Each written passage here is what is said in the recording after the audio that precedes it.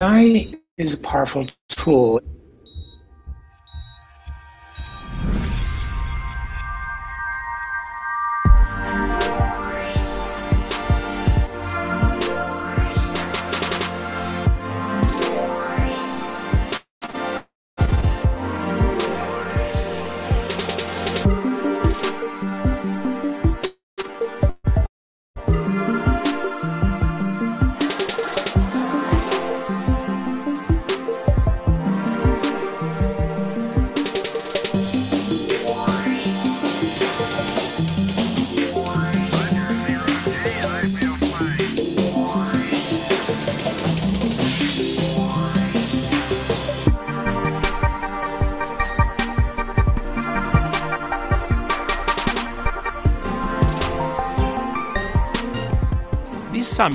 Can help ensure that artificial intelligence charts a course that benefits humanity and bolsters our shared values.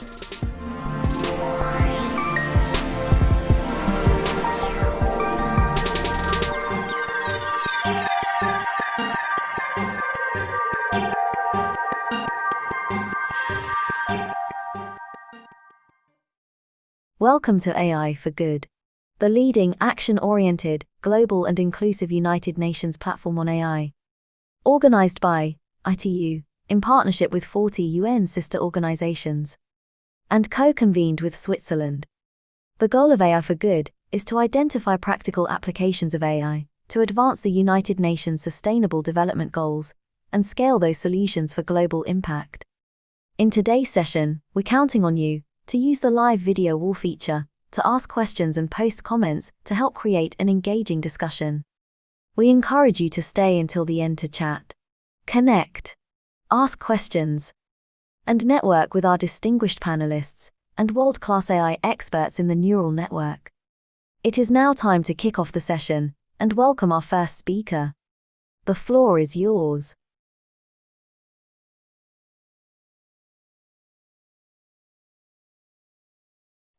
Yes, welcome also from my side uh, to this webinar series AI for Earth and Sustainability Science. And it's my pleasure that um, today I can introduce two experts and bring together uh, physical modeling uh, with machine learning from different perspectives. It's Laura Zanna and Patrick Gallinari. And uh, we start today with, with Laura Zanna. So we have two, two talks, uh, a long, long session today, but I'm sure a very exciting session. And let me introduce first Laura Zanna, and then after her talk, we can have a few uh, questions and answers. And after that, we continue with Patrick's presentation again with question and answers. And afterwards, maybe we can have a broader discussion depending on how the timing also goes, or in the neural network uh, network afterwards. So Laura Zanna is professor in mathematics um, and atmosphere ocean science at the Courant Institute, New York University. Her research focuses on the dynamics of the climate system, and the main emphasis of her work is to study the influence of the ocean on local and global scales. She was a recipient of quite uh, some prestigious award from the American uh, Meteorological Society um, and what is probably most important for uh, today is that she's actually lead principal investigator of the NSF NA NOAA um, climate process team on ocean transport and eddy energy, uh, which is an international effort uh, to improve climate models with scientific machine learning, which is actually this kind of series is also about. So I'm looking forward very much to Laura to your talk. Thank you very much, Marcus, for uh, the invitation and the introduction, and thanks everybody for joining uh, the session. So I'm I'm I'm very excited uh, to talk about you know uh, our recent work that is very collaborative as part of multiple large-scale efforts on really using you know AI and machine learning to improve climate models. And so you know my my title as a as a question mark, right? Is it hype or is it reality? So I think we're very much at the beginning of this kind of you know uh, transformation of of you know, our approach to climate modeling and, and, and thinking about how AI and machine learning in general can help us, uh, you know, move forward. So I'm going to give you a little bit of an outline, as Marcus mentioned, you know, with a couple of talks which are a little bit on the long side. I'm going to try to remain relatively high level um, and kind of you know tell you a little bit about you know how we use climate models for making climate change projections, which is very much where I'm coming from. And so trying to tell you a little bit, you know, how useful climate models are, uh, also how we use them, but also some of the challenges we are facing with the current generation of climate model. And what I'm going to do is, is really kind of introduce a way uh, of reimagining the way we capture a lot of the physics that is missing in the current generation of climate models. And we're going to do that with data, lots of data, uh, simulated data, uh, for which you know we can actually have uh, some kind of abundance of, and use machine learning and, and artificial intelligence to try to capture the essence or the physics of, of those processes that we don't resolve. And you know, I'm going to try to conclude with with a few you know recent uh, work uh, in which we actually use machine learning to improve our you know current generation of climate model. And and again, it remains with a question mark, right? Are the models better? Are are we improving projections? And you know, th- this is very much the beginning of an effort, and it's part of you know two projects that I'm very privileged to be part of. One is M Squared Line, which is funded by Schmidt Futures, uh, and the other one is a new science and technology center out of Columbia, uh, funded by NSF. So both of those projects very much are thinking about new ways, uh, you know, to improve climate models and projections with scientific machine learning. So today I'm going to present a lot of work that comes out of M squared lines, uh, but the philosophy applies as well to a lot of the work that we're doing within LEAP. Okay, so as Marcus mentioned, you know, I'm, I'm an oceanographer, what we call an oceanographer. So I try to understand how the oceans work and how it works as part of the climate system. So as most of you probably know by now, right, we are emitting a lot of, of uh, greenhouse gases.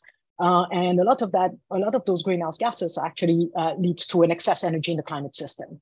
Now, most of that excess energy actually ends up in the ocean. And this is what you see in this graph here, which is the energy change in the climate system as a function of time.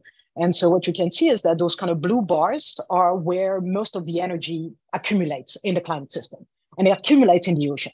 So more than 90% of the excess energy in the climate system due to you know, greenhouse gases actually is being absorbed by the ocean. And of course, that has some consequences, right? Uh, sea level is going to rise uh, because you know water expands as it warms, but we also change the transport in the ocean and the way we actually you know, move around tracers and so on. So that's definitely big consequences for the climate system in general. So let's look at patterns, right? So this is a kind of a data reconstruction here of, you know, uh, patterns of warming. So the oceans is warming, but it's not warming at the same rate everywhere. It's warming at different rates in different places. Uh, you can see some hot spots where a lot of the heat is being taken up in the Southern Ocean and in the North Atlantic, for example. And so really understanding the physics, uh, you know, behind that, that, you know, that those processes is actually pretty important. And understanding the physics is also important for what might happen in the future. But it's not enough, right? We can't just wave our hand and try to understand the physics and have enough information to predict what the future would look like. To understand what the, our future might look like, and again, from a perspective of, of the ocean, we use climate simulators, right? So we use climate models, and I'm going to tell you a little bit about how they work. But again, just to uh, give you a little bit of a feel, so this is, you know, warming over here again on the vertical axis as a function of time. The, you know, this part over here where it's called observation and hybrid is, is basically some kind of measurement-based um, ocean warming that we have. So now the black curve is actually what simulators give us. Um, and again, you know, we can start early in the days. And, and again, they, they reproduce a pretty good amount of warming, quite similar to the observations. When going to the future, then the story is a little bit different. In the future, there's one piece that we need to prescribe, which is how much we will emit. And so each one of those colored curves is a different, uh, you know, possible future with a different amount of warming. Now there is shading in around each one of those curves. And the reason for that is we have climate models we impose some kind of emissions, but each model is a little bit different. Each climate simulator is a little bit different. So each one of them is actually giving a slightly different amount of warming if we go into the 21st century. And the question is why, right? Why are our climate models giving kind of different answers? And so I'm going to try to take you through how climate models work and how we use them or how we build them. So the good news for us, at least, is we have equations, right? So we have partial differential equations that actually governs, you know, the, they are basically the laws of physics that governs how you know motions happen in the ocean. Same for the atmosphere.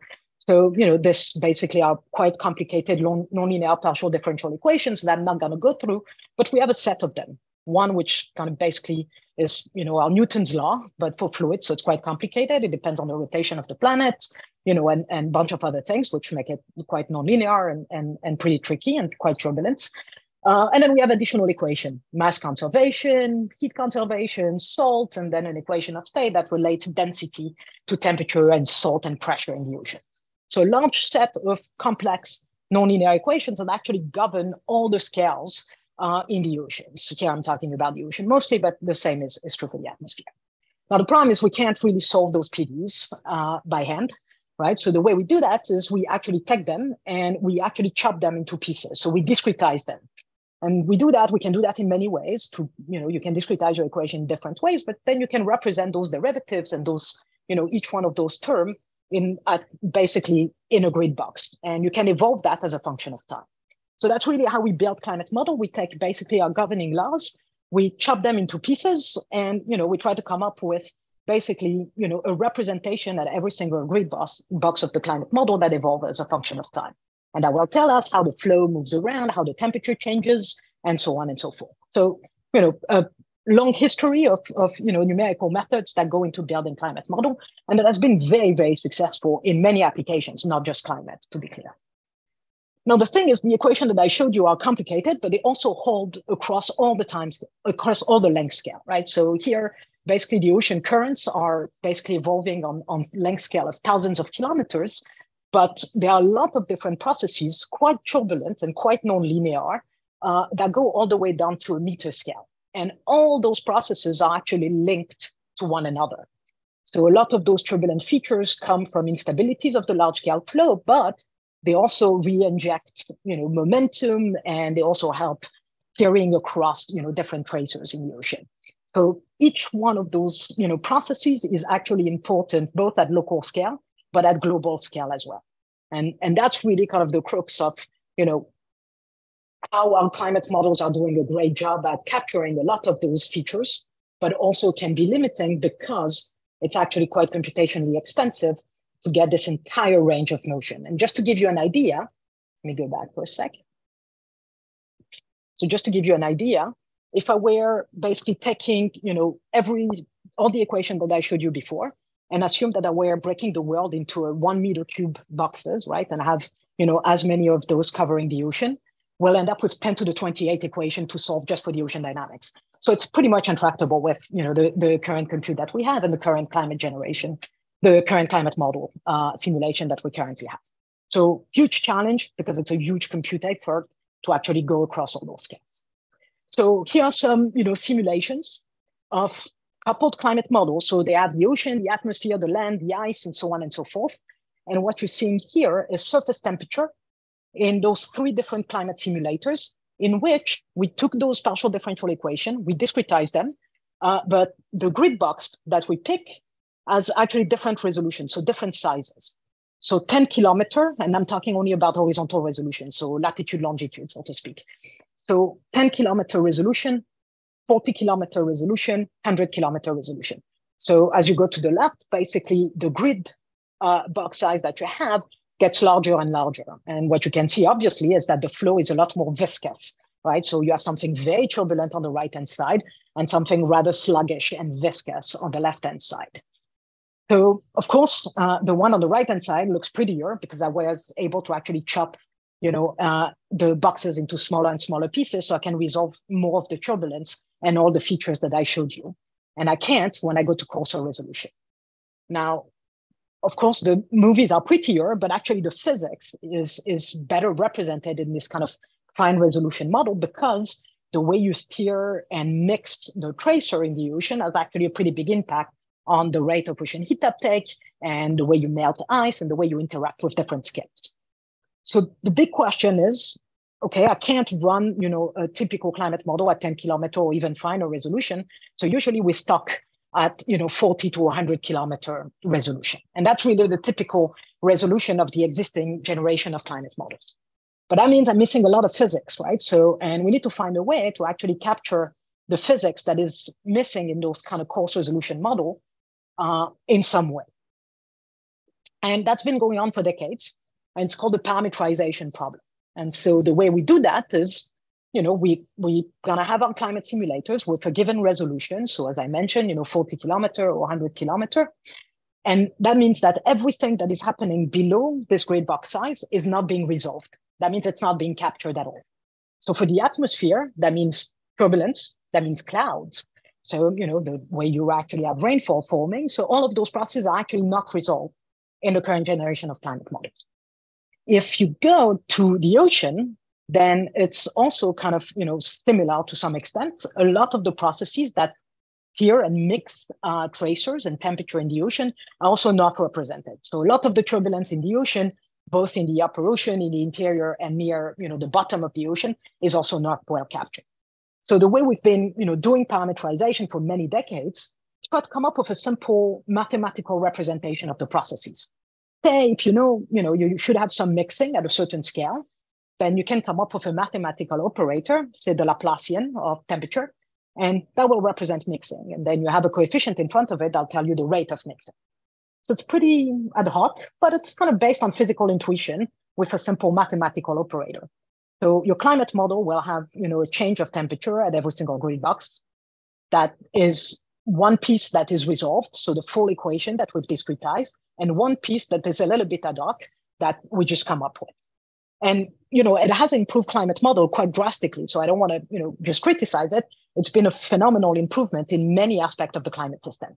But it continues to actually be, you know, a considerable considerable source of uncertainty because there's a lot of the physics that is missing, and sometimes so some some of those idealized representations are a bit too idealized and don't capture the essence of all the physical processes that are important.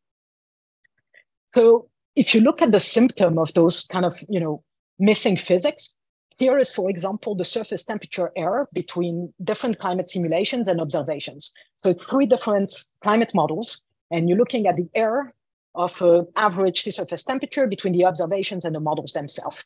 And so it's without criticizing anyone, all the models have some errors. And sometimes, you know, some of them are the same in all the models. In the North Atlantic, there's this kind of blue spot uh, that is basically an error of several degrees uh, in sea surface temperature. And quite often this is linked to missing physics. In the ocean, the atmosphere or actually the coupling. The Southern Ocean is another place where the models are actually struggling uh, to capture um, the right sea surface temperature. And, and again, you know, it's just the fact that we're a little bit limited by compute and by the resolution and the fact that we are missing some physics and it's not necessarily well represented. If you look at projections of climate change, as we discussed before, the ocean is going to warm. The rate at which it's going to warm will depend on the models. So here uh, are maps of ocean warming uh, coming out of you know a, a, suite of climate models. And you can see the ocean will warm as we double CO2 into the future. Doesn't warm everywhere at the same rate as we discussed before because the ocean is doing you know different things at different in different region. But then if we look at the spread, so basically how different the different projections are, then different models give you different answers. For example, again, the North Atlantic has a large spread. And the spread, again, comes from a different formulation of the climate models themselves, and in particular, the parameterizations of ocean mixing and turbulence. So the way we take up the heat, the way we steer it, and the way we move it around the oceans is actually one of the main reasons that you see this kind of spread in our projections of ocean wall. So with M squared lines, what we've been thinking about is can we actually try to reduce the uncertainty in those you know, sea surface temperature errors and in the spread of ocean heat uptake and other quantities by using machine learning to rethink the way we do parameterization. So it's a large collaboration. Um, you know, there are quite a few of us now. I, I stopped counting, but you know, we're about uh, 40 people across many institutions that try to rethink the way we do the parameterization problem for the ocean, uh, the ice, and the atmosphere. And so the idea is, can we leverage a lot of the data sets that we have, which are usually high resolution simulation, high fidelity simulation, with new algorithm coming out of you know, machine learning, uh, to try to rethink the way we do this unresolved physics parameterization. So rather than coming up with an ad hoc way to represent, say, ocean mixing or clouds in the atmosphere, let's try to actually ask the data. Simply take the data and with machine learning algorithm, ask you know, basically ask the question of what should be the best representation of those you know turbulent processes that we can go and plug into climate models uh, that might be more faithful uh, to the physics uh, that we believe in. So, you know, this kind of idea of reimagining parameterization from data and, and machine learning is actually not that new. Um, so in the atmosphere I actually started in the late 90s and kind of, you know, there was a 10 year gap and then kind of slightly re-emerge. And as I mentioned, LEAP, for example, the Science and Technology Center, is actually doing a lot of work on trying to rethink parameterization, especially for land atmosphere, um, you know, and other component of the Earth system. We've been focusing a lot on the ocean. So again, this idea of how mixing and turbulence can actually affect ocean warming has been a big part of our work. And this is what I'm going to concentrate on for the rest of this talk.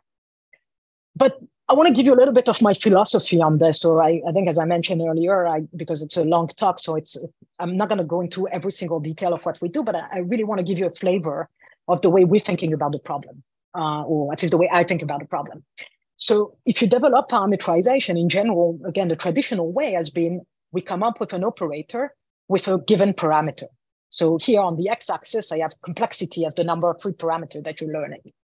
Now, if I, you know, go after what I mentioned before, which is let's use machine learning and lots of data, then you will be on the right-hand side of this axis. With deep learning, you have a bazillion number of parameters and you're just trying to fit the data as well as possible, right? And this kind of huge number of free parameter gives you the flexibility to capture highly nonlinear processes that are extremely complex that you wouldn't with a super simple mathematical operator with a simple parameter.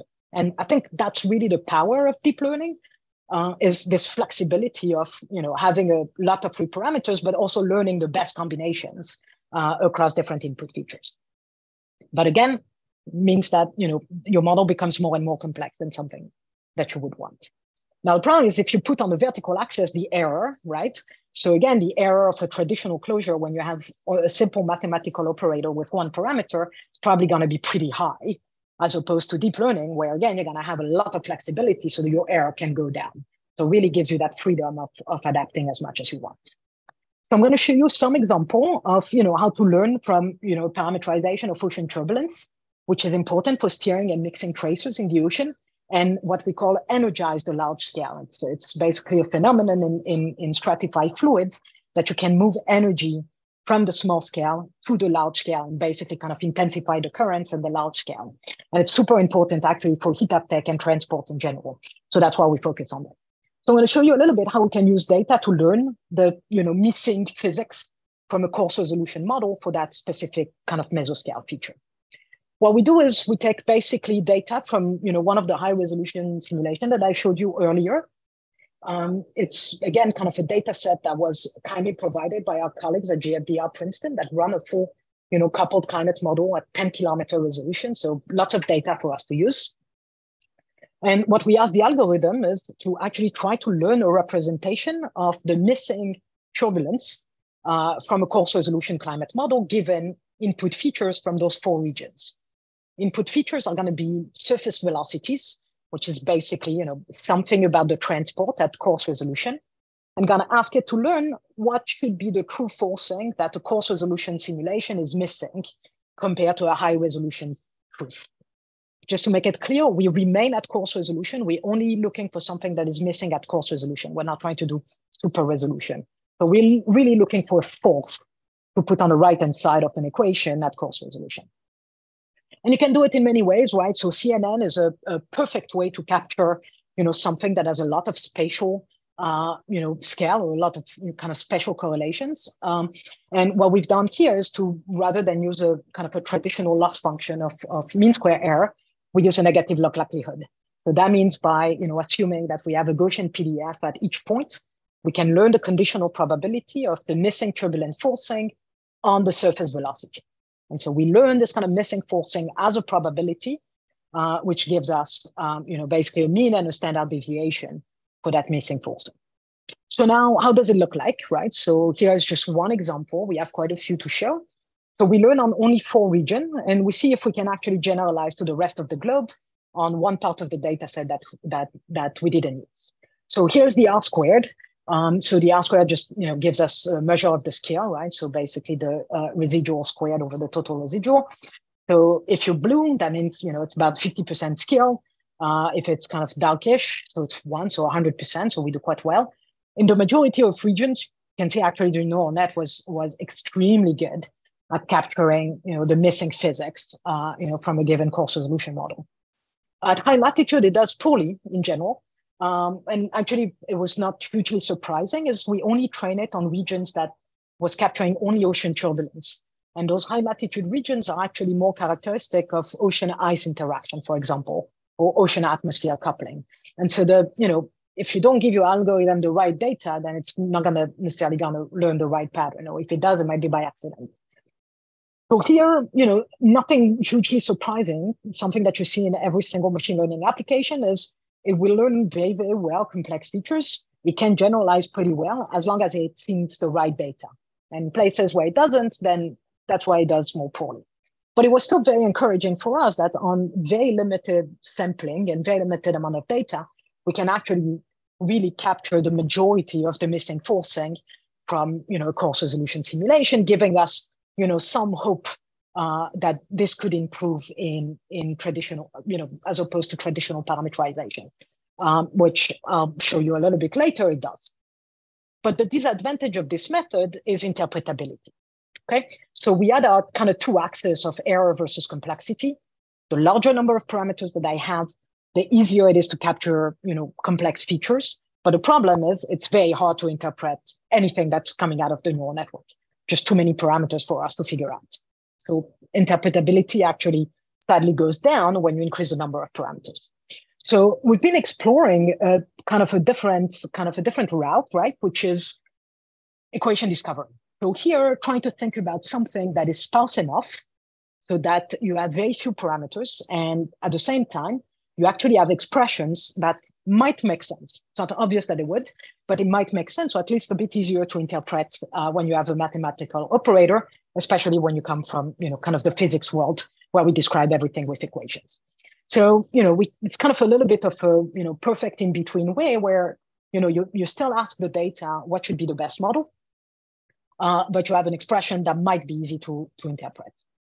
So we started, you know, a few years ago, and it's kind of this reference here, Zanna Bolton, with Tom Bolton was a, a PhD student in my group, by using, um, you know, basically uh, a, library of functions. So kind of a sparse regression idea where you fill the algorithm a library of function and you try to learn an equation based on that library of function. It was quite successful. I'll, I'll show you some results in a bit. But the disadvantage of that methods is that you know you you only kind of basically constrained by the size of the library that you give, and also it requires you to pre-compute everything ahead of time.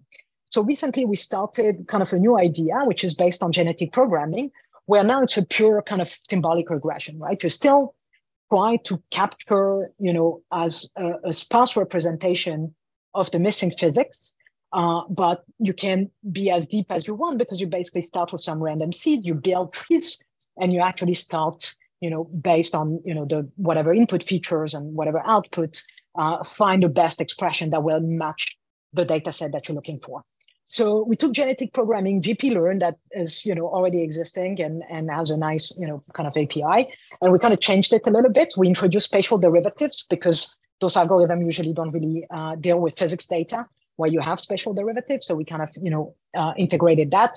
We um, also did it as an iterative sparse regression because usually this kind of method is, is really good at capturing the first, you know, two terms in a very robust fashion. So when you restart it, you always end up with the same expression. But the deeper you go, the more sensitive it's going to be to the initial condition or the random seeds. So by doing it as a iterative sparse regression on residual, it, it gives us, you know, forms that are a lot more robust uh, as, as you restart your sampling.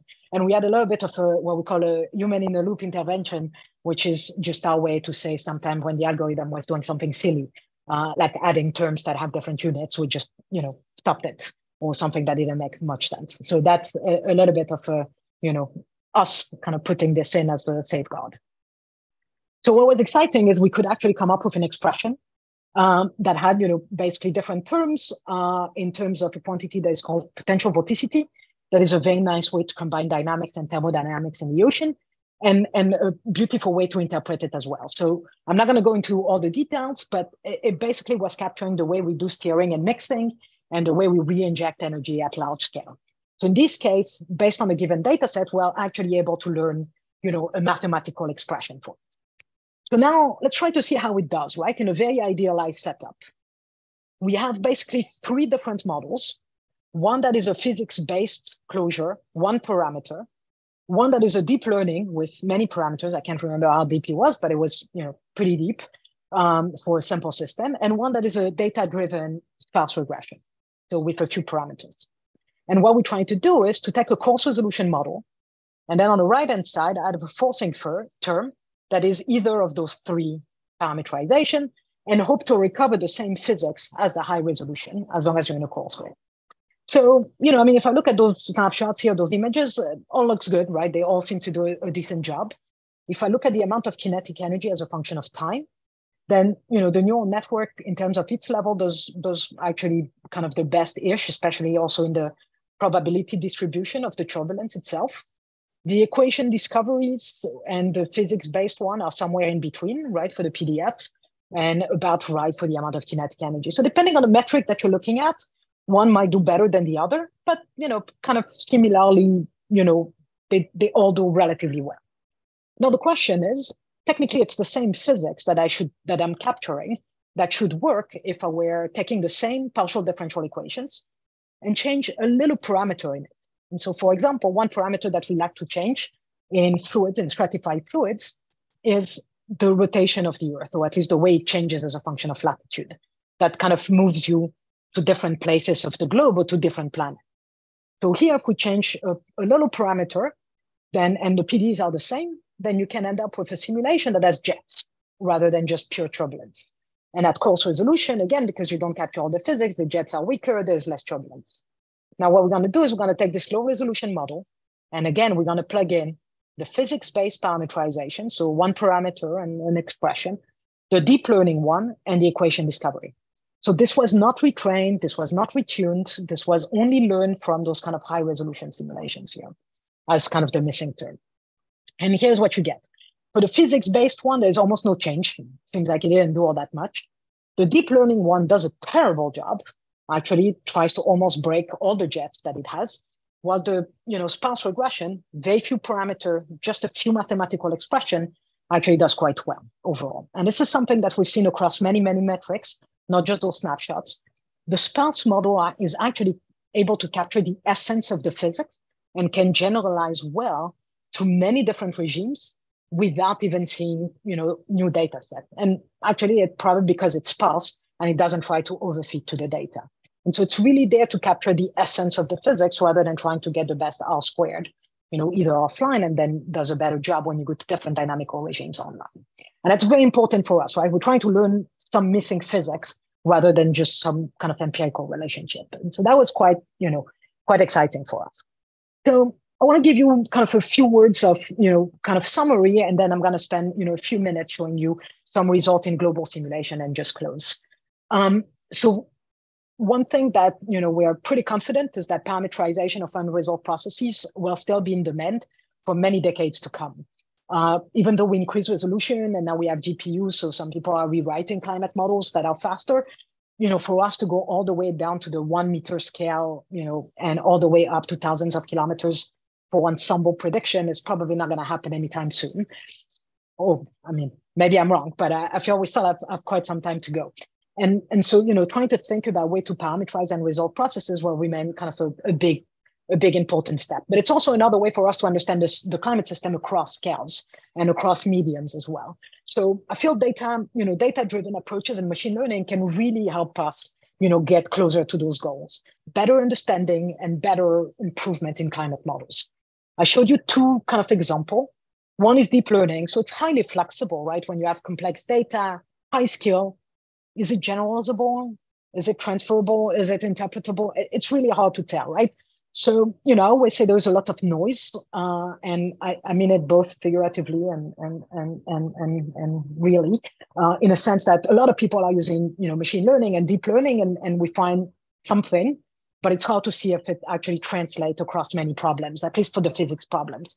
So I think it's all a lot of question marks, but nonetheless super exciting, and we continue using deep learning. I'm a little bit, you know, biased, um, you know, as a kind of a trained climate physicist. The equation discovery gives me something that really tries to poke at problem in a simple way uh, and you know has the potential of discovering new physics or chemistry or interactions between process. No it's not obvious that we'll learn something that actually makes sense. Sometimes we learn equations and they don't make sense at all but kind of gives us a, a different way to look at a problem. Now there are many challenges ahead right which questions to ask is always the big one right? You don't want to work on a problem that nobody works on. And then how do you interpret the results? You know which data to trust? You know how do you make use of observations? And the you know many of those points i'm going to come back to it in a minute. But I want to show you how do we move towards reliable simulations and projections, which was kind of my main point. I showed you idealized experiment, but you know, for us, the end game are real climate models. So the first thing we did is we actually went to idealized climate models, so meaning the code of a climate model, but in an idealized setup, so we can try things out and see what works and what breaks. So here we're looking at sea surface height from an ocean model. It's called MOM6. So it's the ocean component of the GFDL Princeton climate model and also the NCAR uh, climate model. So two big, you know, uh, climate models that are being used in, in different assessments uh, and kind of state of the art. This is a coarse resolution model. This is a truth. So this is where we want to be. And we want to take the coarse resolution model and add our learned parameterization from data. So now they're not retrained. They're just taken from, you know, what I showed you before. One is a neural network one is an equation discovery one, and we plug them in those coarse resolution model. So, you know, we were quite excited in both instances. Those data-driven closures actually improve the flow. So here at surface height, but they improve other parts of the flow, kind of remove this kind of weird, uh, you know, features over here. The jets get stronger. The flow is actually more realistic without the computational cost of, you know, running a 132nd of a degree model. Now, that's the good news. So everything is improved. The bad news is there were a problem with numerics and stability. So it's actually not new. Most parameterizations have those kind of problems. But here it's sometimes a little bit harder to track where it comes from. Does it come from the data? Does it come from the implementation or all those kind of aspects? Calibration and tuning, we had to actually kind of manually trick, you know, uh, the way we implemented those parameterization to kind of uh, calm their effects in, in certain places and of course the computational cost and the infrastructure. So interestingly, most climate models are actually written in Fortran, which uh, you know it is what it is, uh, and our, for example, deep learning you know models are in Python. So you know interfacing between those two can be quite a challenge. And of course, the larger your network, the more computationally expensive it's going to be to actually do the inference and going between GPU CPUs. For the equation discovery, it's actually a lot easier because there's nothing to do. It's just a simple code uh, for which you can discretize your equation, figuring out the numerics. So there are plenty of challenges ahead. Some are quite new on the infrastructure. Some are actually extremely old, uh, but kind of, you know, we're rethinking them again. But that still does not stop us. We're still going, you know, full swing with global simulations that are underway. So here's one of them. So here it's actually changing the vertical diffusivity in, uh, in a simulation. So here is uh, basically a temperature profile as a function of depth in the equator. This is the observation, and you can see that the model is doing some kind of you know weird things in the upper ocean, doesn't have quite the right magnitude in its temperature. So uh, what uh, our colleague at Princeton did is to actually take the same physics closure that they had and only replaced with a you know machine learned uh, you know kind of method, a neural network in this case, only the diffusivity profile, which is the part that was completely ad hoc in the parameterization. And by doing that, then they removed some of the kind of the spurious errors that they were at the surface over here. They get a better vertical structure of the temperature compared to the observations. So they kept the physics part that was right, which was conserving energy, and they replaced the part that was completely ad hoc, which was the eddy diffusivity, which is the way you diffuse, um, you know, tracer in the ocean uh, in the vertical in this case. So kind of, you know, something in between where you keep whatever is right on the physics and you replace whatever is ad hoc. And what's exciting, is now they were able to do global runs. So here's a, you know, a neural, neural net, network, you know, emulation of what we call the mixed layer depth, which is the depth of the layer that is well mixed in the upper ocean. You know, the simulation is stable. It does, you know, better than it did before in, in quite a few regions of the ocean. So this is quite exciting, you know, for us. And this is a way for us to use true data to improve simulation. Now, there's another path that we've been using, and that's kind of a little bit where I want to close with, is that we haven't made use of observations at all. And it's hard because quite often we don't have enough good data. But what we have is something that is called data assimilation. So data assimilation is you take your coarse resolution model and you correct it with observations. Now that corrections, and this kind of this path over here, that correction is actually an indication of the error in your model. And the question is, can we learn, learn those corrections and can they be used in the future for which you have no observations?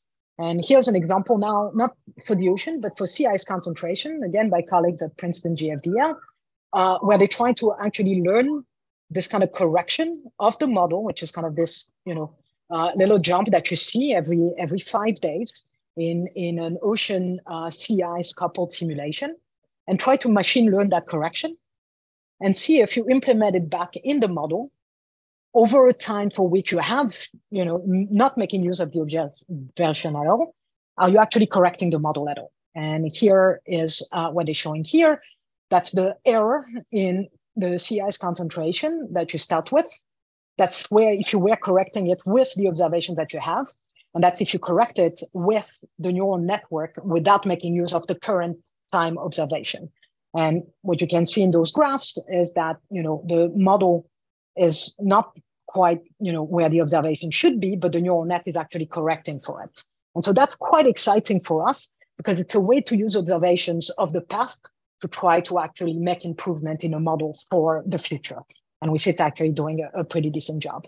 Now, of course, there are many challenges ahead, but this is kind of a new and an exciting result that tries to do this blending of observations and model.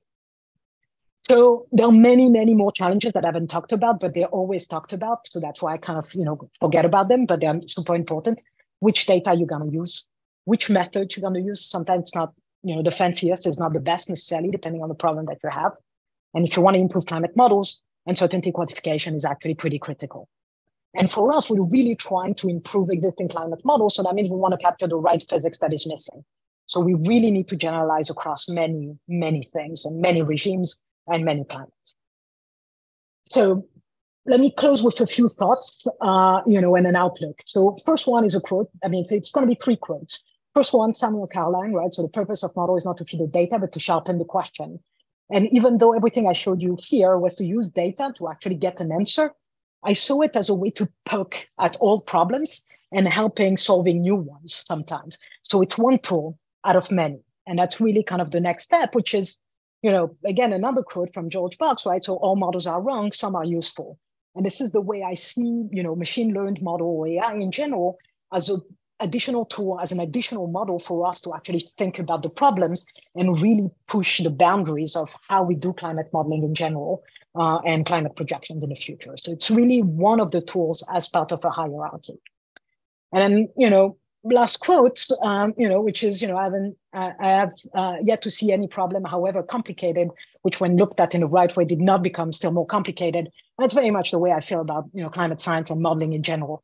So I'm, you know, very privileged to be part of very two very large efforts, so LEAP and M squared lines, where we really try to look at this complexity and try to improve, you know, models in general. There are many other projects that are coming up, including from industry, right? NVIDIA, Google Research, and, and Prima you know, all of them are also trying to tackle those problems. I don't know what the future will look like, how AI will come into play. So I always joke around, maybe a chat GPT BART for climate and weather. I don't think so. I think there's still plenty of physics that is needed, but AI will play a role somehow, somewhere. It's going to be interesting to see how it is. Just want to close with that. So I want to show a picture of all my colleagues who have contributed to the majority of the results that I showed here, uh, and happy to take any questions now or later. Thank you very much. Yes, thanks a lot for this very, very nice uh, perspective, including results and uh, also at the same time some some general uh, conclusions that I actually agree very much with. But uh, so uh, I think the idea is that we can have a few questions uh, now, um, maybe mostly on some, some, maybe understanding or clarification, and then then Patrick's talk. So, and I see here two questions in the chat. Maybe we take these two, and if there's another one coming, we can take a third one, but then we probably go on.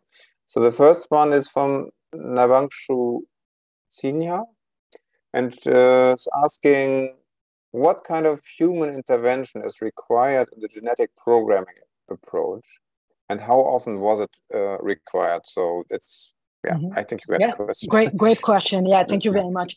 So for us, it was a, bit almost of a safety guard as a kind of a physics way. Um, so you don't have to use it at all if you don't want to. For us, it was mostly, you know, again, when the algorithm was, you know, adding two quantities that should not be added because they have different units. So if you didn't normalize properly, then, you know, it's something you don't want to do.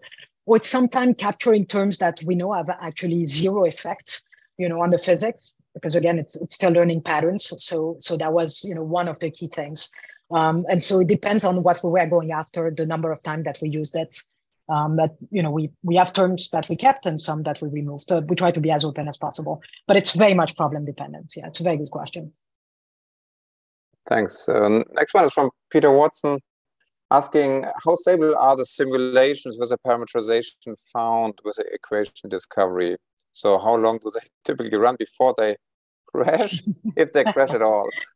yeah, that's a great question uh, and a very pertinent one. Yes, I did mention stability was an issue. So uh, quite often the equation discovered, because it learns an, equ uh, an, equation that is relatively small scale, there might be a buildup of what we call enstrophy, or if you want numerical noise. So, um, and it's something that we had to fight. Um, and the way we're fighting it is actually the way a lot of the current turbulence parameterization work is that we filter the field before we implement them. And then there is absolutely no stability and you use a filter that will be conservative. So it's a very good question and one that everybody faces. And so, so yeah, so for us, our current our current approach is a is a filtering of the variables. Okay, and no crashing. there's there's another question that you can probably also read yourself is about yeah. about material or good resources. Maybe you can just add uh, something that you, comes to your mind in the chat. Um, uh, yes, absolutely. So good resources. Actually, uh, part of M Squared Line, we're writing a Jupyter book, which is already online, where we go through the Lorenz 96, which is a very simple two time scale model, where we actually explain how climate model works, how parameterization work, how you can use them for machine learning. So that's kind of a nice little exercise. And we have a couple of other resources that we'll happily uh, share. Great. Okay, then we leave it at you. that for now. I hope you can stay and uh, possibly be a part of a, yes. a discussion after Patrick's talk. Thank you. Great. great. Um, because then we continue with Patrick Gallinari. I don't know if you want to. Ah, yeah. Hello. There we are. There we are. Hello. nice to see you. Uh, Patrick is a professor at Sorbonne University and distinguished researcher at Criteo AI Lab in Paris. And his research focused for a long time already on statistical learning and deep learning with applications in different fields as semantic data processing, uh, but also complex data analysis. And he initiated actually a few years ago uh, this research topic uh, which is about physics-aware machine learning and co-authored some of the very early work in this um, domain. So he research, uh, he leads a research group um, at the MLIA, which is a machine learning and information access, focused on the statistical learning and deep learning. And he's also been director of the Sorbonne Computer Lab. And so I guess he will focus now exactly also on that uh, topic of physics uh, aware machine learning and i'm also looking very much forward okay. Thanks a lot marcus. So i will share my screen. Okay.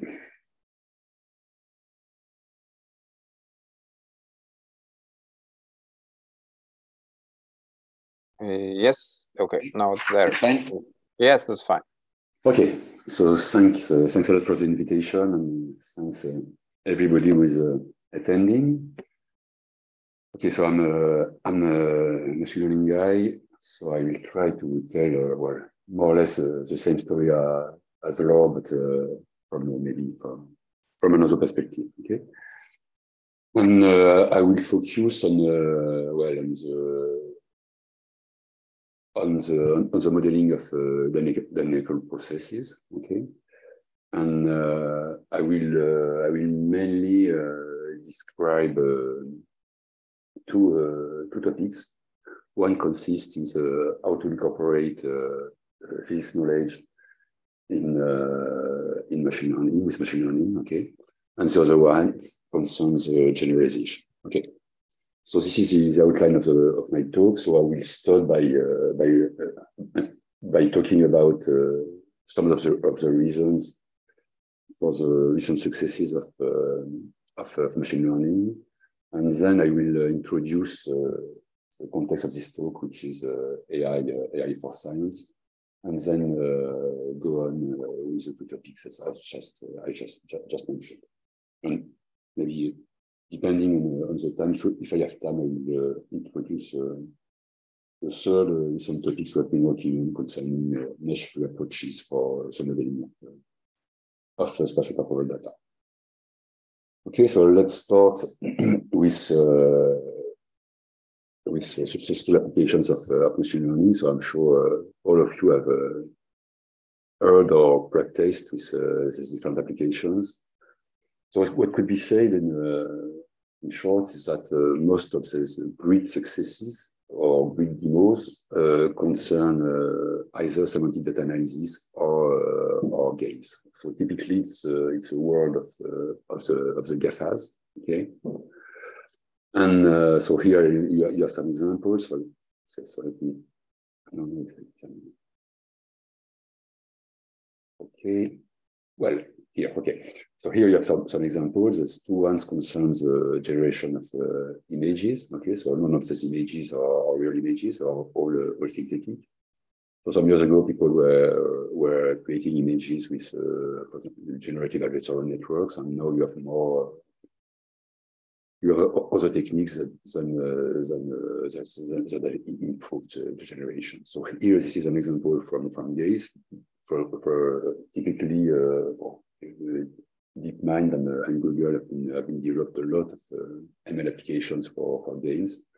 And here's also an application from uh, OpenAI.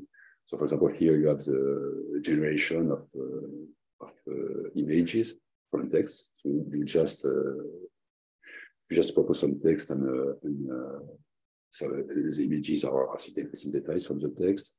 Here, this, this is another application for, for, for, for coding, okay, for, for developing codes in computer science. So it's the same thing, exactly the same idea. It, you, you will uh, you will describe what you want to do with uh, just natural language, and uh, the application will uh, will develop some uh, some from some code. Okay, and here you have the well you have ChatGPT. I think everybody heard about it recently. Okay, so what I uh, would like to to introduce is the reasons for for the, the successes and the ingredient of the success. Uh, if you if you look at the different applications, okay, they work uh, mainly because uh, there are a lot of uh, of resources, okay, of data, okay, and uh, because uh, they, they, are using uh, large large amounts of, of computing power. So here, for example, you have some statistics that corresponds to large language models, typically like like ChatGPT. So you can see that the, here's a number of parameters for the different models. So there are around hundreds of, uh, of million of billion parameters, and uh, same thing for the for, for the, the training data.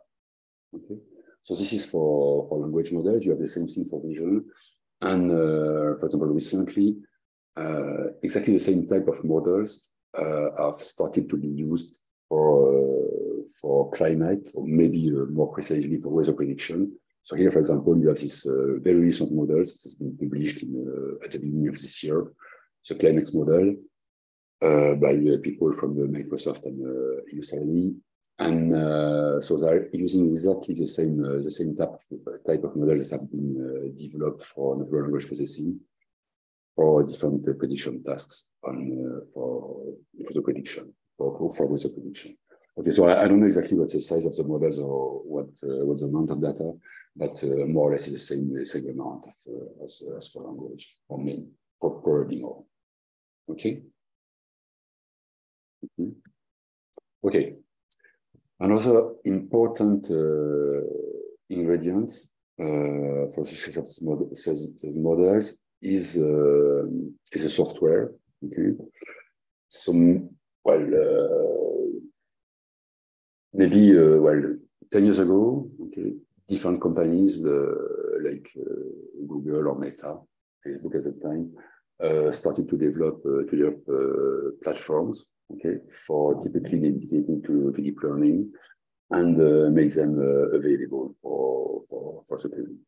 So this changed uh, a lot of things, and uh, this allowed people to develop very complex models. Okay, and there's different platforms. They rely on optimization tools that are based on automatic differentiation. Okay, so typically uh, it means that uh, more, more or less all the, the models that are being used uh, in, in deep learning are optimized through some form of gradient algorithms, and this is what these platforms, platforms allow.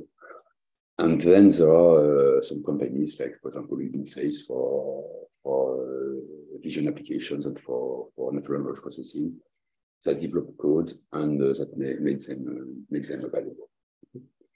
Okay, so this third ingredient, the software is extremely important. For example, uh,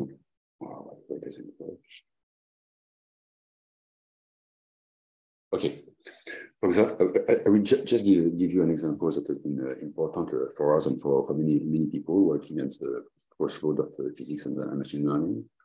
So typically some, some years ago, people figured out that neural networks could be interpreted as a numerical schemes for solving models. So the idea is the following. Uh, when you consider neural networks with a very large number of, uh, of layers, okay, so take uh, the unit with an infinite number of layers. The, the neural network itself could be uh, modeled as a, an ordinary differential equation, okay, which means that the dynamics of uh, the neural networks through the different layers could be described by, uh, by an ODE. And uh, well, so in practice, uh, what, does it mean? It means that uh, neural networks with a limited, with a fixed uh, number of layers could be interpreted as numerical schemes for solving this kind of problem. And the practical consequence was that it helped to popular, popularize the use of uh, differential numerical solvers for, for the machine learning community. And uh, also, it started the development of uh, differential solvers libraries that uh, that were incorporated into the different platforms that uh, I mentioned before.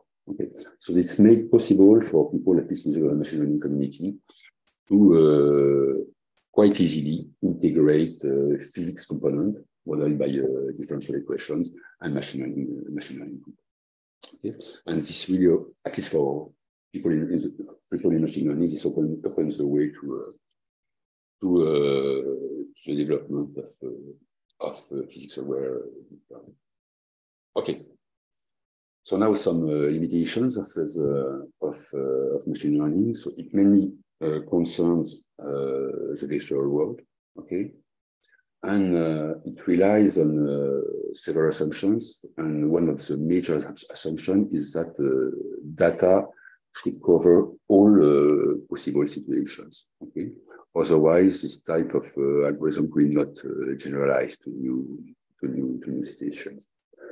And uh, typically for physics, well, it's much more complex. I think it's way way more complex than for even for the most uh, for, for the larger applications I, uh, of machine learning that uh, people have developed up, to now. Okay, so physical processes are extremely complex, and it's uh, well, it's more or less uh, impossible to to gather data to have uh, just to represent the statistics of, uh, of all the possible situations. Okay, and then another aspect is that well, either in science or in, in engineering, we have several critical applications, and these applications require uh, both uh, explainability, explainability and uh, certification, typically. And uh, also, uh, well, the development of uh, deep learning algorithm remains, well, it remains an, an art. For example, well, if you consider ChatGPT, well, more or less nobody uh, really understands uh, why it works and, uh, and how it works. Okay, so it's really based on the on, experiment on, on, an experimental know-how and and it offers a few guarantees.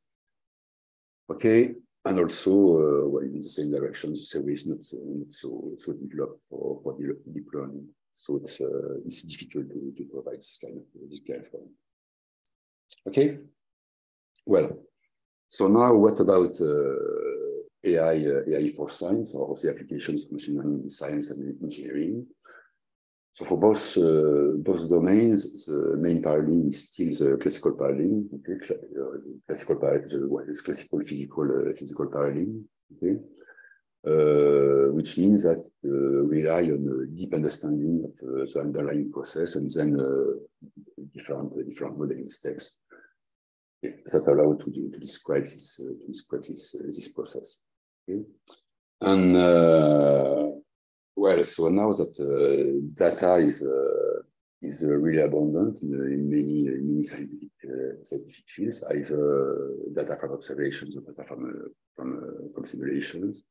So big questions are how to make use of AI in this in this different domain, and uh, how is it possible to uh, to you to to to, to develop uh, jointly classical well, the, the classical physical based paradigm together with new machine learning one paradigm. Okay. Okay, so it's not, this is not new, but uh, for deep learning, uh, everything started only a few years ago. And uh, some people start, started to, to work on that and, uh, and wrote, uh, for example, prospective papers. So for, for example, you have this well, nice prospective paper like, uh, by Marcus and, and about the applications of uh, machine learning in, in, earth science. And also you have more specific uh, specific papers that uh, appeared later on on the how to integrate integrate physics inside inside machine learning systems. Okay. There was also this, uh, this report by the Department of Energy. So this is an, well, it's, it, it's a big report with uh, a lot of information inside. And uh, in this report, they ex examine the, the, potential of AI for many different domains. Okay, not not uh, not only uh, environment, but also for materials, for life science, uh, uh, medicine, and uh, energy, and, and, so on. Okay, and they, they find they find out that there are many many similar similar questions in these different domains for for the use of AI. Okay? So for, for example, this questions they concern models, data, or infrastructures. For model, well, so, so there's always this, uh, this, uh, this, question of uh, how to integrate uh, AI and, uh, and uh, prior knowledge from the, from the application field. Okay. For data, for example, and probably mainly for for life science and, and medicine, there is this question of uh, data creation, data creation, and uh, and uh, and uh, okay, how, how to create uh, data sets that could be shared and uh, used by uh, by different uh, different people and different uh, different researchers and different different institutes. Okay, and also there is a question of infrastructure which is uh, related to the computing power, to the storing of the data, of the data and the, and sharing. Okay, so here is a, okay, an example from uh, from climate, examples of some uh, of some of the questions and the, and the challenges. Okay, so typically for data, okay, in uh, in, in uh, weather prediction and climate, there is this question of uh, how to of, of data acquisition. Okay, and uh, how to how to collect the data how to uh, to use uh, well, very uh, heterogeneous and multiple sensors that are used to, to, to collect the data, how to store the data and so on. Okay, for the models, there is still this uh, this question of integration of ML and uh, and uh, and and physics. Okay, through through simulators or emulators. And then there are different uh, challenges that are, that specific to this field, like the data, data, data complexity. Even if you have a lot of data, uh, people often complain that it's too scarce, okay? the data is extremely heterogeneous. Uh, you have a lot of, of noise. Uh, the data is collected on uh, multiple scales and so on. Okay, and those are questions of the physical plausibility, validation, and explaining. Okay, and here are some examples of uh, of uh, of, of recent recent initiatives. As soon as 2019, uh, some early initiatives uh, started in order to, to develop uh, this one, the Climate Modeling Alliance, between the different different US, USA universities, with with the goal of developing new climate models, new climate models that would be able to um, to incorporate since the beginning uh, machine learning and other other techniques for for for dealing with, uh, with data. And very recently, there's been uh, uh, several publications. Until by the end of, uh, of last year and the beginning of this year, there have been uh, several publications, mainly by by uh, by, by people in in big groups like Google, Microsoft, and so on, about the applications of foundation models for for weather prediction. Okay. Okay, so here it's just a summary of the different questions I, I mentioned, and uh, now I will uh, I will uh, talk a little bit about uh, the integration of uh, physics with uh, machine learning and the problem of generalization. Okay. Okay. So one of the key questions is how to integrate different knowledge from uh, two, different paradigms, the physical paradigm and the machine learning paradigm. Okay, and I will illustrate it with uh, mainly uh, two, uh, two developments that uh, we have uh, we have produced. One is an our first attempt to, to integrate to integrate physics inside the machine learning systems and uh, it allows to deal uh, with integration when you have some uh, some background knowledge on the analytic form of of the physical solution. And the other one is an extension of of this idea when uh, the background knowledge, the background physical knowledge is uh, is uh, known under the form of partial differential equations, and the problem here is how to integrate uh, differential equation uh, solvers together with, uh, with machine learning models. Okay, and then I will illustrate an application to another domain, which is cardiac physiology. Okay, okay. So here, well, that. Okay. It's not. Uh,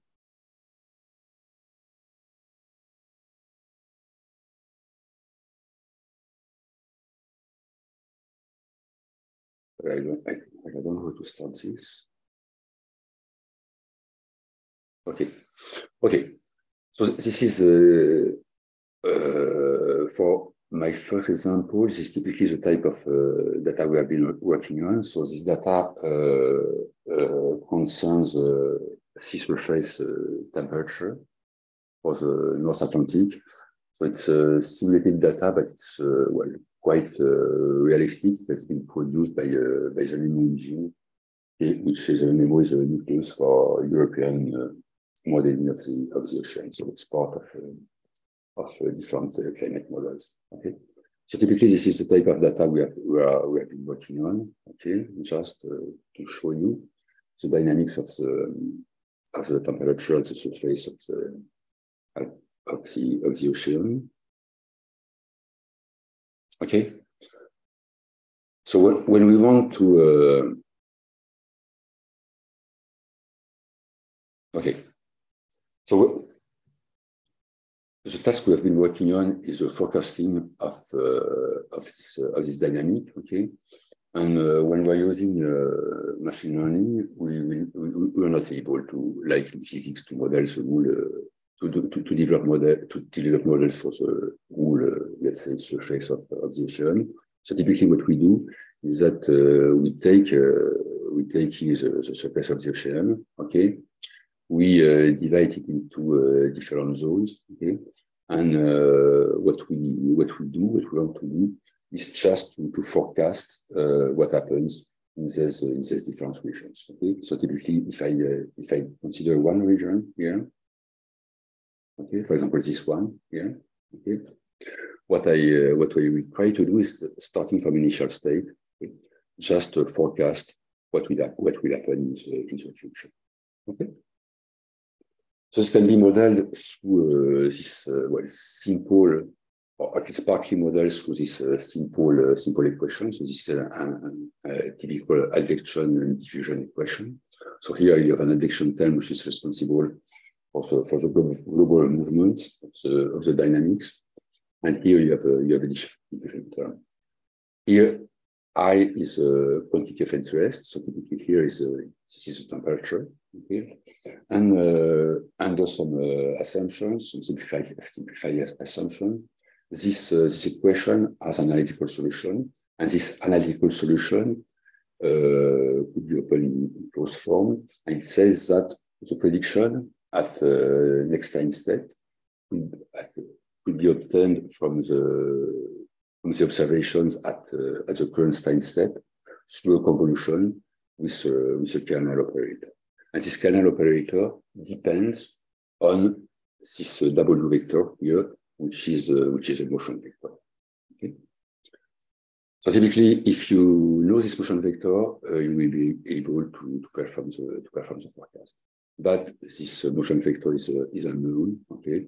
And it's uh, well, it's uh, usually it's quite complex to to uh, to estimate, and typically people are using physical models to to, to estimate this. this okay. So here is a simple scheme of uh, what what we have been doing.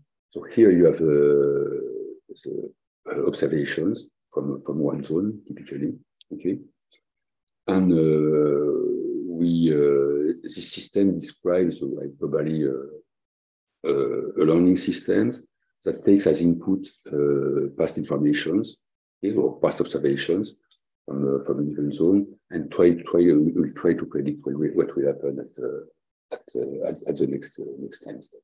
Okay, and the system is composed of two components. Here you have a neural network. Okay, and here you have what what is called here a working scheme and typically, this working scheme encode the, the, the, analytical solution, which is uh, described here. So this work, this scheme here, this part here, encodes the physics. Okay, and uh, this physics, in order to work, this physics requires uh, some parameters. The main one being this uh, motion vector. Okay, and here this uh, neural component is responsible for producing the, for producing this uh, this this, this component. Okay? So typically the system is learned in a self-supervised way, which means that you just have to, to, to, use, to use observation, okay? Uh, inputs and, uh, and outputs here, and you will train your the whole system in order to, uh, to forecast the uh, next observation given to forecast the future given the, given the past. Okay, and uh, be, because uh, the two systems here are differentiable, you can you can you, you can uh, train them all together. And this means that uh, this uh, component here, this neural component, will produce something that will reproduce this uh, this this motion this motion. Okay. And typically, okay, here are some, uh, some illustrations just to show that, uh, well, more or less it, uh, it works. Okay, so here you have the ground truth for some uh, for some steps. So you have an initial steps and, uh, and the steps uh, after this one. Okay, so here you have the prediction of the model. Here you have a classical numerical assimilation model. Okay, and here you have a baseline uh, neural networks without physics. So what can be seen from uh, these illustrations here is that, uh, okay, if you use the machine learning without physics, it doesn't predict well, okay? But when you use well, the integration of physical machine learning, it, well, it is able to, to make correct, correct predictions. So this is the qualitative, qualitative evaluation and you find exactly the same thing when you do uh, uh, quantitative evaluations. For example, this model, which integrates uh, physics and machine learning, is, is performs on par with a classical, classical numerical simulation. Okay. Okay, so this is this was the first attempt uh, for uh, integrating physics and uh, and, and machine learning. But of course, it relied on a strong hypothesis, strong assumption, which is that the, the physics was available in a closed analytical form. Okay, and uh, most of the time, if not always, it's not it's not possible. So uh, what we did uh, then as a, as a follow-up of this, of this work is to uh, more or less develop the same idea, but by, by considering that the physics was available in a form which is more, more adequate for general modeling, and this form is a general, uh, general uh, partial differential equations. So typically, uh, we have a, we want to model a given, a given phenomenon. Okay, we have some information provided by a, a partial partial differential equation. This uh, partial the assumption is that the partial differential equation only provides uh, partial information about the underlying phenomenon, and we want to complement this uh, physical, physical info, uh, information through information extracted from the data by, uh, by machine learning. Okay. Okay, so this is just an illustration on a toy problem. So this toy problem is a, a, damped pendulum. Okay, so here you have in red here on the left, you have an illustration of the dynamics of uh, the damped pendulum. So you have uh, well periodic oscillations, and the oscillations are, are damped. Okay, in time. Okay, in blue, you, you have what we would get with a pure machine learning problem. Here, well, again, you have the damped pendulum uh, dynamics. And in blue, you have what you get with an imperfect physical model. And this imperfect uh, physical model is simply uh, corresponds simply to the equation of the pendulum, but with without uh, without uh, damping uh, damping term. Okay. So this, because it is incomplete, it is, it is unable to, uh, to the correct dynamics or to model the correct dynamics. Okay, and here you are what you want to, what you want to get by combining both uh, the incomplete physical model and uh, and uh, uh, machine learning, machine learning component. Okay, so this is exactly the, the objective. Okay? So again, just I I repeat the general framework. We consider that uh, physics provides uh, partial knowledge about an underlying phenomenon. Okay, this partial knowledge provided under the form of uh, partial differential equations. Well, and uh, we want to complement this uh, this uh, physical knowledge with information extracted from observations from data. Okay, and we do that by, uh, by combining the physical model with uh, machine, machine learning model. Okay, so typically we consider uh, a very general dynamics of the following uh, of the following form. Okay, so here the f function encodes the dynamic; it's an unknown function. Okay, and we consider that uh, uh, we have the two components I mentioned before. One is the physics component, and uh, the other one is a machine learning component. And we want to model these dynamics according to this kind of uh, decomposition. Okay, so the unknown dynamics here will be modeled as uh, the sum of two uh, of two, two components. One corresponds to physics, and the other one corresponds uh, corresponds to uh, to information extracted by through, through machine learning. So this is a very general stating, and this is a simple uh, additive combination, but uh, well, it's, uh, it, it, it's simple, but it's also very general. I mean, uh, in, a, in a vectorial function space, you can decompose more or less all the all the uh, all this all the function in this in this way. Okay. Okay, so uh, we are looking for a solution that can be expressed as a as a sum of two of physical and machine learning component. Okay. Well, uh, unfortunately, uh, the, this problem is ill-posed, which means that uh, given an unknown an unknown dynamics, there are many different possible definitions. So what we what we did is we tried to rephrase the problem in uh, this ill-posed problem into a well well-posed problem. And so I will just give you the, the intuition behind the, behind the solution.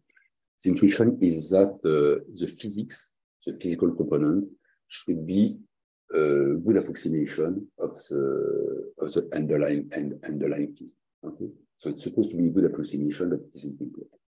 So we want this uh, uh, physical component to explain as much of the dynamics as possible. And we want the machine learning component to act just as a complement of, uh, of the information that the physical component cannot, uh, cannot, cannot, uh, cannot model. Okay? So we want, uh, what say, said otherwise, we want the, the machine learning component uh, to explain only the residual information that cannot be explained by the, by the, the physical one.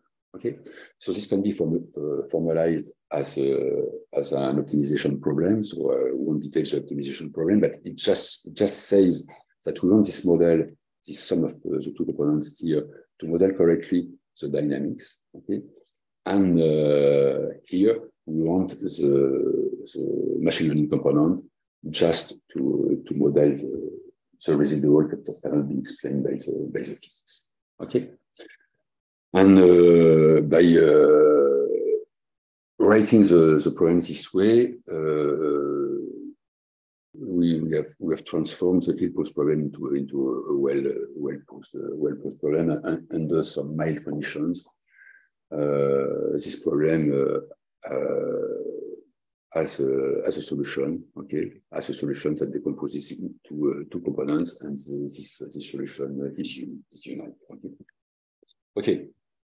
So uh, typically, uh, the practical for, for the practical instantiation, the physical component is modeled as a differential equation. The machine learning component is, uh, is modeled as a, as a as a neural network, and uh, we'll solve an uh, integral version of this uh, of this optimization problem, which means that we'll be able to solve this optimization problem by learning through the observations of of trajectories. Okay. Okay, the, the, observation of trajectories, uh, I mean of uh, spatial, spatial temporal, spatial temporal trajectories of, of the ocean. Okay. So just to, to summarize this, uh, this approach, so we have observation and uh, we have a, a, model which combines in a simple way uh, physical components and machine learning components. And these two components are, mod, are, combined in order to, to optimize the problem and this and this uh, this problem will be uh, optimized through a general uh, general solver for for ordinary differential equation. Okay, so just to show you well, a simple example how it works. So here, this is an this is a, a simple a simple reaction diffusion equations in two in two dimensions. Okay, so you have uh, two components. One uh, is a different component here. Okay, this is part, and uh, one concerns the reaction. So the incomplete incomplete model here consists of exactly the same this this this same system, except that we have removed the, the, the reaction component. Okay. So this is uh, the simple model, the physical uh, physical uh, background here uh, is represented by uh, by the, the, the diffusion the diffusion system. Okay. So here, uh, so it's a two-dimensional problem. So you have two components. Okay. So here you have a representation representations of two components. And uh, you have uh, different snap snapshots here that uh, corresponds to, uh, to, to, to, a given dynamics. Okay, so given initial, states, you just uh, let unroll the, the, dynamics, and this corresponds to ground truth. And here to uh, to, to, to, the modeling, which is which is provided by by this simple physical model.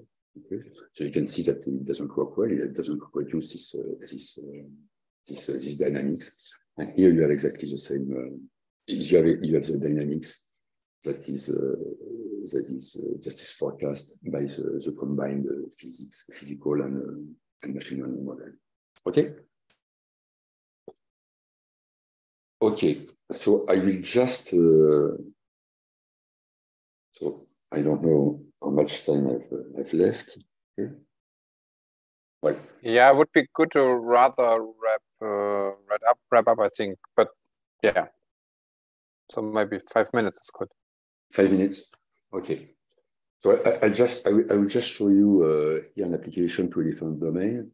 So it's an application to uh, to uh, completely different domain, which is a cardiac uh, uh, the modeling of uh, cardiac, cardiac electrography. Okay. And here, for example, we have a complex model that provides that provides um, that provides the high, high fidelity uh, high fidelity, simulations. But this model is, is, is expensive and it's expensive to run. And it's a complex model with uh, around uh, 40, 40 variables. Okay, and people uh, very often use a simple model, simple model with only a few variables that are much more much, much more fast uh, to operate. Okay, so here we it, it's just an application of the of the, of the previous idea, and uh, this uh, this application. Okay, for this application, we consider that a complex model we consider the complex models as a target uh, as a as a target uh, target dynamics. Okay, as a and uh, the simple model here as the incomplete uh, physical uh, physical background. Okay, so it's exactly the same idea, except, except that it is, uh, it is, it is developed for, for another, another applications. And typically, typically here it's just to illustrate a simulation of uh, the cardiac uh, electrography, okay, on a slab of uh, on a slab of cardiac tissue with so, so it's a, a, small small slab with 24 by 24 elements. So here you just uh, this is an initial state, and here you have a you have a, you have a, the dynamics, okay, which is a, which is an, an which corresponds to the ground truth. And here you have the dynamics which is generated by, uh, by this model, this combined, this, this combined model. So it's just, uh, and, and, again, it's the same, uh, same, uh, same idea as, uh, as before. It works, uh, it, well, the machine learning model is able to correct the, the, the, the physical part. And, and it is, and it works much better than when using I mean, using the domain model was much better than using, using a, a, a, single machine, a single machine model. Okay. Okay. So I, will just try to, to highlight some uh, so some ideas about uh, the problem of uh, of generalization. So I, I won't uh, I won't go into, into detail. Okay, I'll just uh, take some minutes to to explain uh, to explain our vision of, uh, of this problem. So what is uh, what is generalization? Uh, generalization is a key issue and this, uh, that uh, this key issue conditions the usability of uh, machine learning for for for scientific scientific applications. Okay, and typically here you have an example.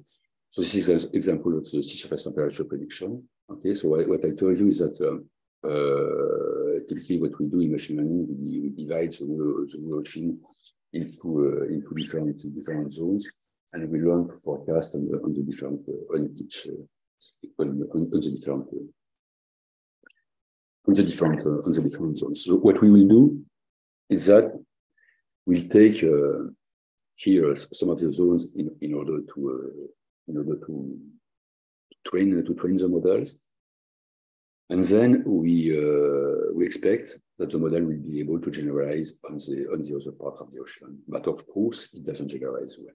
And you have many, uh, many different, uh, different problems like, uh, like this one. For example, here, well, it's, it's exactly the, the, same idea, except that it's uh, for, the, for the modeling of, uh, of epidemics. So here, this data corresponds to the data to, the, to the COVID data. So the idea is exactly the same. You have uh, and, and the different curves here correspond to different uh, correspond to different country uh, for for a given period. Okay, so the, the idea is exactly the same. Uh, you have one underlying process. This underlying process is exactly is, is the same. Okay, for all the different countries, but depending on the context, I mean, uh, depending on the well on the on the socio-economic context, for example, or on the on the the physical localization of the country and so on.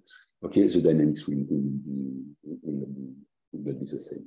And you have the same thing, we have exactly the same thing for biomedical applications. Okay, so for example, when you want to model the dynamics and uh, well, like the examples I, I mentioned before, before, the dynamics of uh, the, the, electrical uh, dynamics of the electrical activity of the earth, for example, you have different dynamics for the different patients. Okay. Well, so what's uh, what's the idea of uh, of uh, dealing with uh, generalization and uh, why do uh, current machine learning models do not generalize well for complex for when modeling complex physical problems? Okay. So the, the, the usual, usual way to, to handle, uh, to handle uh, generalization for machine learning is to gather as much data as possible. Okay. Usually these data are collected uh, from uh, different environments or from different contexts. And then you shuffle all the data, okay, and you train your system on this, on this shuffled data. Okay. Well, so the classical assumption in, uh, in machine learning is, uh, is a IID assumption, which, which means that uh, the data for training and tests will have exactly the same, uh, the same, uh, the same distribution.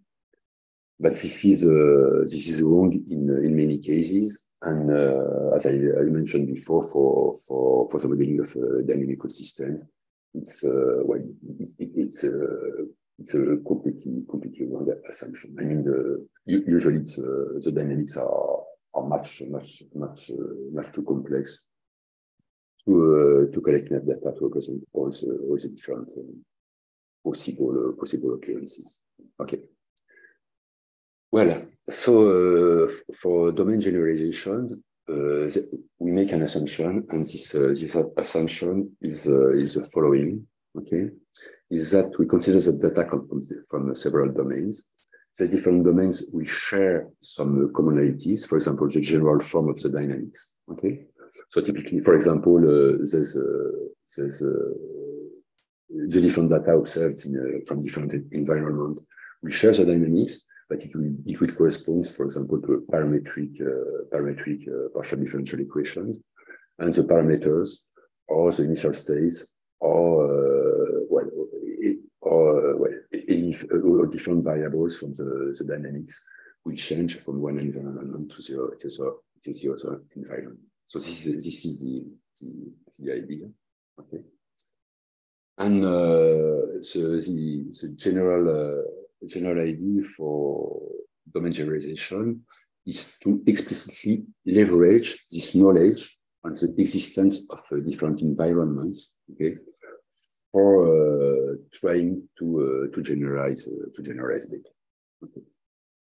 And so I will not describe not enough time, so I will not I will not describe the the well different work we did in, into, into in this domain, but by using this uh, idea of uh, leveraging uh, leveraging the the knowledge collected in the, in the different uh, environment and the, and the sheer knowledge that uh, we have different environments, okay, what we, what we developed uh, are uh, methods, okay, that allow to uh, interpolate through different environments, which means that uh, we are able to learn in the different environments and by considering, considering that there are different improve the performance on these uh, different uh, different environments. Okay, and uh, we have, as a follow-up of this work, we have developed methods that are able to extrapolate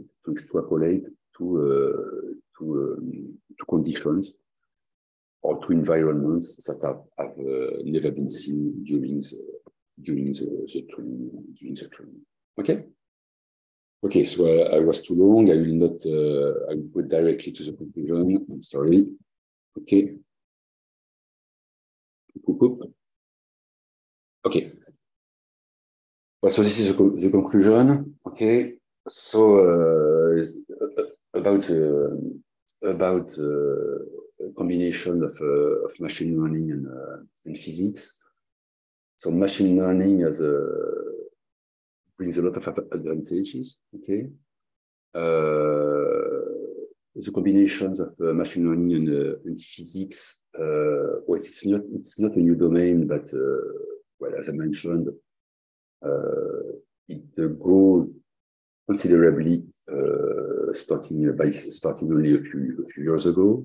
Okay, something which is extremely interesting is that usually uh, people are trying to, to communicate and to work to, together across across uh, different communities. And uh, well, it, uh, it has already uh, produced uh, well very very interesting re results. Like the one, for example, I, I mentioned in the introduction for for weather prediction or large size climate applications. Okay. But uh, right now, I think we are only at the, at the beginning of this, uh, this development. Okay, uh, our practice is that uh, there is still a, a, huge gap between uh, academic developments, like the one I just uh, showed you, and practical implementa implementations. So typically, we have been working on well, on, on different applications, and each time Okay, the simple applications of the IDs that's just like the one that's just described doesn't uh, is not enough. Okay, you have to bring uh, other information from the applications uh, the application domains or from the from the physics. Okay, and uh, there's uh, there's developments okay for uh, for well for bringing uh, physics aware uh, machine learning to the stage of uh, practical applications requires a lot of, of, still a lot of effort and a lot of interdisciplinary effort. Okay. Thank you. That's it for me.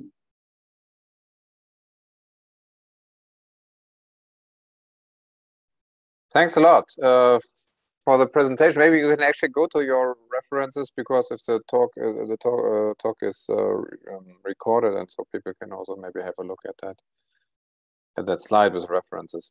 anyway. Yeah. So yeah. thanks, th thanks a lot. Uh, I mean, this was really a very nice uh, tool, very nice uh, and complementary perspectives, and I think they have really this common ground which is basically the, the lambda parameter, kind of the regularization in, in one or one or the other way, I believe. Uh, I would have some questions there, but uh, there's first a question by Michael Speiser. Um, the question is basically, are these approaches also possible when the ground truth system has a stochastic component? I think it's to you, Patrick. Yeah, yeah. Okay, so what I have shown here is uh, only, uh, you're, you're, right, it's only for uh, deterministic, uh, deterministic forecasting, okay? So, and uh, so, something we, we, we, do not, uh, we do not, well, we are not used to, to, to do in machine learning. And this is a question I always have from when I talk with, with, with physicists is uh, about the modeling of uh, uncertainty. Okay. Well, so this, this is uh, an extremely important issue.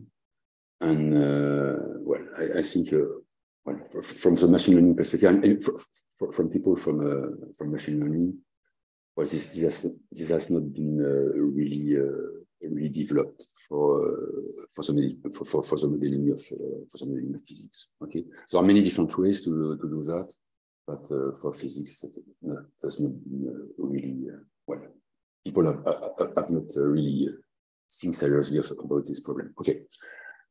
Now, uh, as for for your for, for your question about uh, stochastic component, uh, well, uh, we are able to uh, to model stochasticity, okay, uh, for for different applications. Personally, I, I have not been working on that for physics, but for some things so I'm sorry, but something from uh, my, my point of view, which is quite close to, to what, what I just described, which is uh, the, the forecasting for, for videos, okay?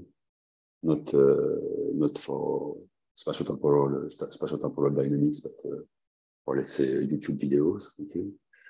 Uh, the best, uh, let's say, forecasters are stochastic predictors, okay? Well, so I don't know if it, if it uh, completely answers your question, but uh, well, yes, we, we, are able to. Okay, people have started to, to, to develop models that that integrate some form of, uh, of stochasticity. Okay, and in, in, the same way, I mean, uh, there are recently there, have been a, a, lot of work on the on the on the use and modeling of uh, stochastic uh, stochastic differential equations. So it's uh, but for other other types of applications. Okay. Yes. So I, I would actually have one question that goes to you, but then a related question to, to Laura. Um, so basically, um, in, in your approach on the uh, decomposing basically the differential equation into two additive terms, one one is physical and the other one is kind of the rest, um, um, which is described as a neural network. I, did you? I about two questions actually. Did you did I understand correctly that you could show mathematically the, uh, that there's a there's a proof uh, that through the regularization with a norm it gets identifiable as one question and then the second question is this true uh, only only is this true only for additive or would it be uh, for any uh, addition like multiplicative or, or, other ways of integrating the neural network then in a nonlinear way well um, Okay, as for the proof, okay. Uh, would be nice if there's a proof because that's basically yeah, yeah, had, yeah, a guarantee, had a guarantee on that. This is really nice. yes, yes. What I could say is that uh, we have guarantees, okay, under some uh, mild uh, hypothesis that uh, you are able to do this decomposition and to uh, to infer the correct parameters for the physical parts, okay, and uh, and to have uh, and have a unique uh, unique composition between the between the two terms. Okay, so I have a proof, but uh, well, it's uh, well, I mean, it's well a formal proof. Okay, it's a formal proof I made. um, I, I, just want to say that this formal proof doesn't mean much for practical applications. Okay, so we, we, have, this theoretical proof. We are glad to have uh, to have this proof. It's better than nothing. Okay, but uh, well, first uh, it works only under under the assumptions. Okay, the assumptions that uh, you know uh, at least part of the of the of the physical model. Okay, even if uh, okay if it's you know it up to some some parameters and you want uh, the machine learning model uh, just to to to, to complete uh, to complete the physical model. Okay. okay. Well, yeah. and I and the last, I, I forgot the second part of oh, the, the other question: if, it, if it's if the decomposition not is not linear. Yeah, yeah, yeah, yeah, yes. Well, in fact, this linear decomposition is uh, well, you, you, can get exactly the same type of result with the decompositions okay? But uh, this uh, additive decomposition is very general, okay? So you, well, again, it's for, for a proof, you can show that in a general vector space, you always uh, can have this, this type of decomposition. Yeah. Okay, thanks. Yes, so maybe as, a kind of related question to, to Laura. I mean, you, you showed the symbolic uh, regression approach, and uh, and of course, uh, when one can for me, the question is also you explore really a huge function space at the end. Uh, so it's not, not so different from deep learning, but then you regularize it also with a, with a, uh, with a lambda parameter and the parsimony principle. I'm wondering uh, if you have, what are the, your, your heuristics or to tune this hyperparameter on, on the parsimony, uh, basically? Yeah, that's a great question, and, and definitely also relate to some of, of, Patrick's work. I guess we have no proofs, uh, so we really went at it in a more kind of heuristic way, or tried to you know go after something that made sense. So it, it was, in all honesty, I mean, I think for us the majority of the I don't want to call it tuning, but I think everything goes into the preparation of the data. That has been kind of the most sensitive part of our problem uh, to begin with more than anything on how we how we actually tune the you know the the lambda parameter to make actually the model plus or minus. That has actually been the less sensitive part, but the way we actually deal with the data to begin with. So again, because we are learning a residual term, so you know the way we filter and coarse grain actually had more impact on our results than than you know the tuning parameter to actually find a model that is passed. It was a bit of a surprise to some extent, mm-hmm. and mm-hmm. and then after the fact became almost obvious uh, that as long as you get the right physics, then you know the first yeah. few terms will be identical, but it depends very much on how you extract this residual. Yeah, cool. Thanks. So we have maybe one last question, then actually uh, um, I hear also from the organizers we need to close it. Um, it's also to Laura. Um, it's an interesting question. Also, I think it's about um, the point that climate data seems to be very uh, sparse or well at uh, many zeros. I don't know if it really sparse is the right term. And and um, machine learning models do not work well with such heavily skewed data. So that's maybe the point. Uh, if you think about, for example, precipitation, I guess, for example, what are the techniques you use to handle those cases with very skewed data? Yeah, that's a good question. So, so I think for us, a lot of it has been you know, trying to, I mean, yes, so everything will be in the loss function that you use to some extent, right? So you can either transform your loss to actually try to capture something that has, you know, kind of a different distribution that becomes skewed. Second option is something we've been actually kind of trying out is actually to transform the data so it becomes more Gaussian. And there are quite a few examples. I mean, Marcus, you just mentioned precipitation, and there are a few papers who actually did that without machine learning just to literally try to retransform the probabilities. So then you end up with something that actually is more normally distributed. And so those are kind of a couple of things that we've been playing with to to definitely kind of address that problem. It's a very good question. Yeah. Good. So I think we close this seminar. Thanks a lot again, Patrick and Laura, for, for these really Thank nice you. talks with very different uh, perspectives on, on a very similar problem. So I, I hope everyone I'm sure everyone learned quite a lot from those talks, and uh, and uh, they can be also re um, listened basically on YouTube, which uh, is I think also very good, so one can think about it again. so Thank yeah, you. thanks thanks again. Thank you. Thank you very much. Thank you. Everyone, thank you. Thank you for participating in today's AI for Good session. We hope you've learned something new, innovative, and engaging in today's event. We now encourage you to continue the conversation on the live video wall in the neural network. Here you can ask questions, like and comment, share links, complete the poll, connect with interesting profiles, or speak one on one using the chat and video function. We invite you to explore the lobby, try the smart matching quiz, visit the virtual exhibits, poster boards, the eShop, and build your personalized AI for Good program. Let's shape the future of AI for Good. AI is a powerful tool.